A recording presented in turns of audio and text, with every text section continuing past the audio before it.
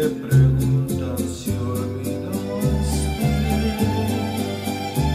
que es amor.